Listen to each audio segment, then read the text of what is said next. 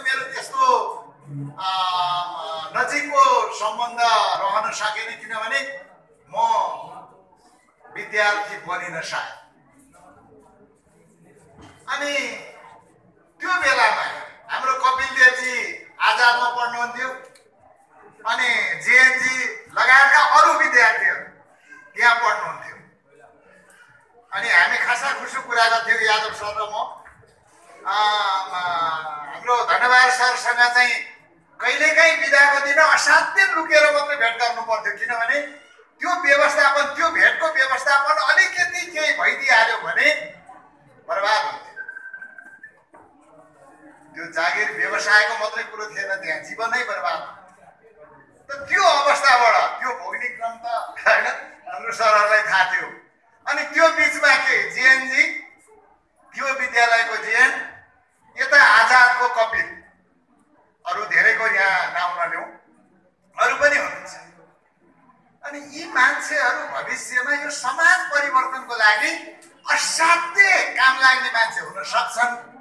यिनलाई अगाडि लिएर जानुपर्छ भन्ने लाग्थ्यो। हामी यादव सर म काने खुसी गर्थ्यौँ। दिनभरि उहाँले पढाउनुहुन्थ्यो। रातभरि कतै कतै हामी भेटेर अनि वर्ग सङ्घर्ष र मुक्ति मोर्चा आदान प्रदान गर्थ्यौँ। होइन?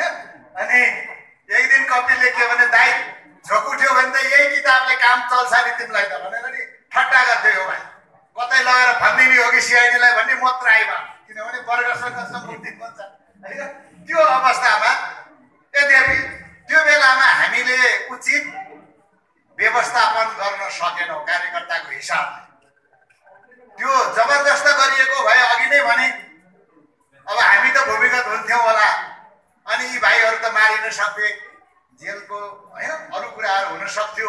त्यस कारणले जबरजस्त गर्न हुन्न एक दिन। चेतना भनेको किताब त घरमा छँदैछ।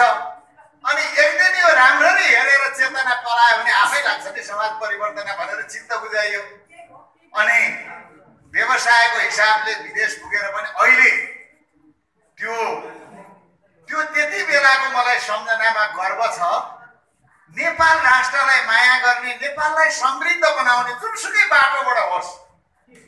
राजनीतिक नै गर्नु पर्दैन नि समाज रूपान्तरण गर्नको लागि। होइन पार्टीमै लाग्नु पर्दैन नि। त उदाहरण त उहाँहरू हुनुहुन्छ नि त यो हिसाबले अगाडि जान सकिँदो रहेछ। जस्तो अघि हामीले राज तामाङलाई सम्मान गऱ्यौँ अहिले गइसक्नुभयो उहाँ उहाँ एउटा सङ्घर्षको एकदम ताजा इतिहास सौदीमा उद्धार गर्न जाँदाखेरि महिलाहरूको बुर्का लगाएर अलिकति मात्रै त्यो मात्रा खुस्किने बित्तिकै त्यहाँ मारि नै दिइहाल्थ्यो। अरू कुनै उपाय नै छैन।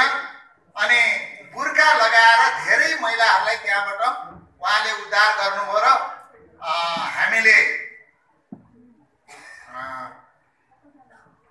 साहसिक एवार्ड जी फन्डमा दुई तिनवटा एवार्डहरू छ। सङ्गठन निर्माणमा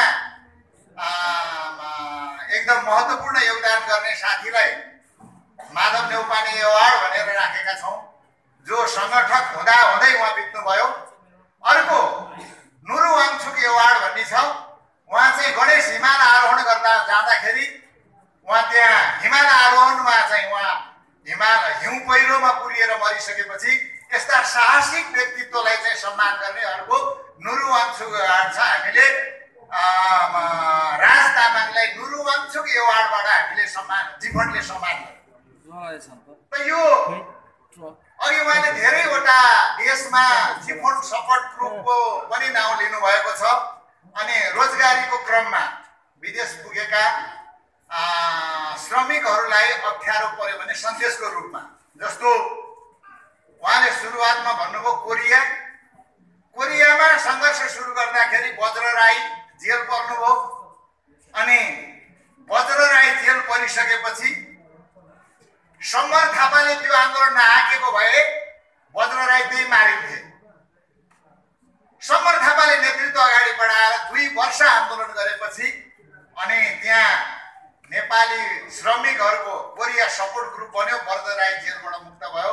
त्यहाँ कोरिया सरकारले एयरपोर्टमा लिएर आएर हस्तान्तरण गरेर अनि यसलाई कोरियामा चाहिँ राख्न हुने यसले बिगार्छ कोरिया भनेर त्यहाँ ल्याएर अनिखेरि हस्तान्तरण गरेर गयो। अहिले कोरिया जाने साथीहरूको सान अर्को छ सङ्गठित भएर।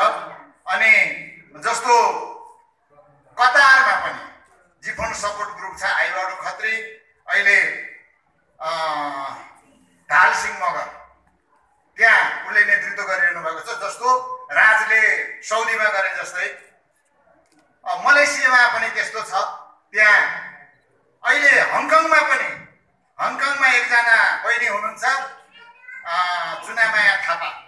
उहाँले नेतृत्व गर्नुभएको छ। यसरी श्रमिकहरूको तर्फबाट त्यो देशमा श्रम गर्न जानेहरूको समस्याको बारेमा जिफोन सपोर्ट ग्रुपले गरिरहेको छ भने अनि गैर आवासीय नेपाली